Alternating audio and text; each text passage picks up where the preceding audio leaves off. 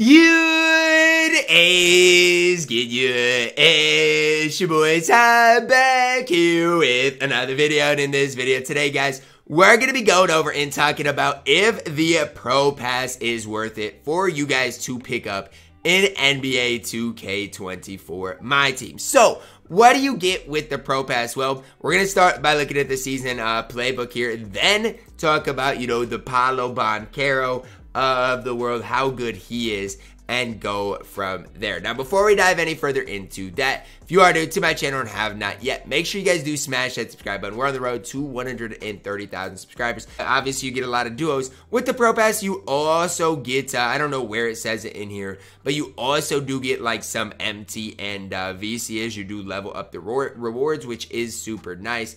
And so look, I'm not telling you guys like to do it specifically like for for the MT and VC, but just know uh, that at least last season you got extra MT and VC uh, along the way. Now that's something I look in game. Uh, I'm recording this before it's actually released, so that's something I look for in game to make sure. But we're gonna be breaking down these things and then talking about the difference in the Dark Matter SGA and the Pro Pass SGA as well as how good Bond Banchero is. So in the base pass, you get all these cards. Uh, Galaxy player card wheel spin will be interesting.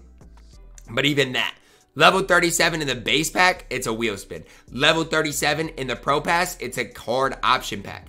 And so I know you guys are probably like, dang, Ty, everything really is hidden behind, uh, everything is hidden behind, you know, a paywall. And you know what? You're kind of right. But it's one of those things like, for $10, it might be worth your time. Like, you got to realize there are people that spend thousands of dollars on this game uh, every week. And not to make us feel better, but like $10 a season, that might just be what I start spending to have fun with the game. Because you look at what the Pro Pass rewards are. Okay, you get a duo with Russell Westbrook, Serge Ibaka at Pro Pass level 4. Probably an unsellable, not really worried about that. Pink Diamond, Xavier McDaniel, David Thompson at level 19. Not super worried about that. But then level 31, you get Galaxy Opal Leap, your Ray Allen. Level 37, you get a player card option pack. Now, why is that key? Okay, I don't know who is going to be on the wheel spin. I have no idea. But let's say when I get to level 37, let's just look at some of the Galaxy Opals that could be on there. Okay, I've got Hakeem, I've got Chet, I've got uh, Braun, I've got Giannis. So, and I'm gonna probably get SGA this season. I'm gonna get some other guys. So, like, who would I want as a Galaxy Opal? I mean, let's just talk about it. I'd want maybe Kobe. Like if he's on there, I, I would maybe take Kobe. Uh, some other guys like that, I might want Iggy. Maybe you know those type of guys. That's really where I'm looking at is is if it's like an option pack, maybe even like if Ron Artest is available, I'd take him in a heartbeat. And so we'll see what that ends up being like. But again, if those guys are available, that might be worth your time as well.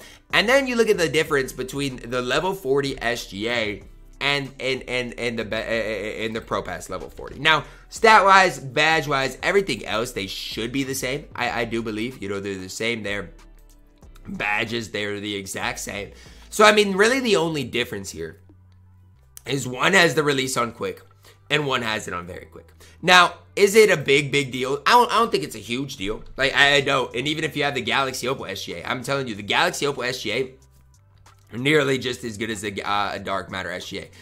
But is it just an extra layer to this that you get a slightly better SGA? Yeah, it is. Like for $10, you get an as slightly better SGA to add to your squad as well. So again, is is that worth $10 by itself? No, because even in the James Harden situation, I, I and, it's going to be the same thing with SGA the, the tier is eh, they're both going to be S tier point guards. It's not like that changes. Even with James Harden, there's there, there, there it doesn't change that much between very quick and quick. It's just another layer of this that 2K wants you to see and be like, man, I need that pro pass or I need the Hall of Fame pass.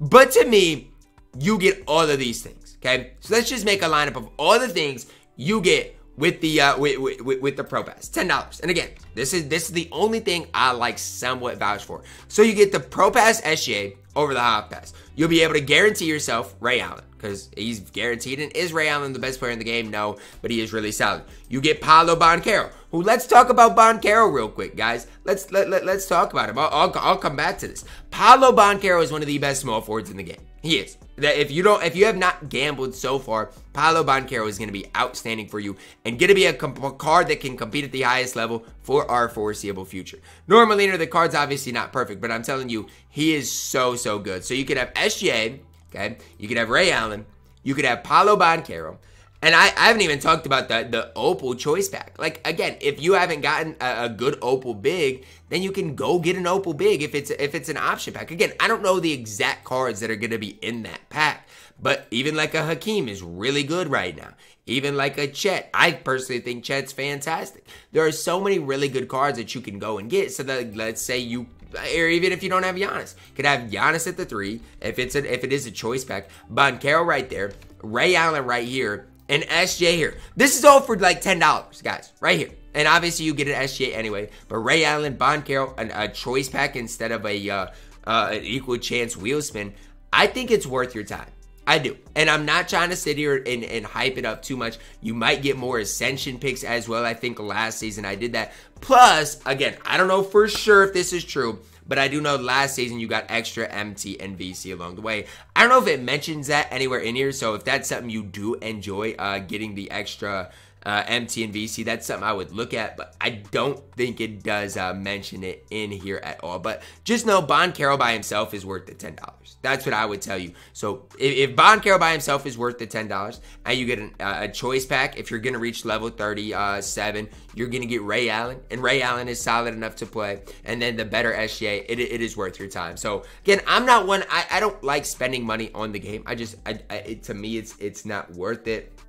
Uh, but at the same time, it's like, I mean, look, ten dollars, and then you can have fun playing the game. Like that's what I would do this season.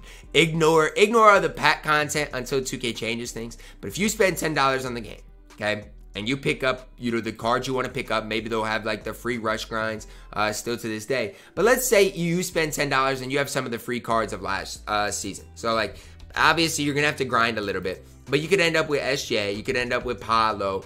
Let's say uh, you know uh, you're shooting guard, you could still have Ray Allen, but on the bench you could have Harden. If I'm not even going to talk about Reeves, but you could have Harden if you grinded him out.